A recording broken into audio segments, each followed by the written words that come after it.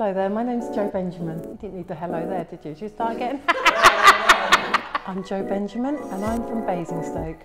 I discovered DuoBoots many years ago and I have been hooked ever since. I know that I can order a pair of boots from your website, they will fit my calf, I won't have to struggle to get them on my legs and they last a long time.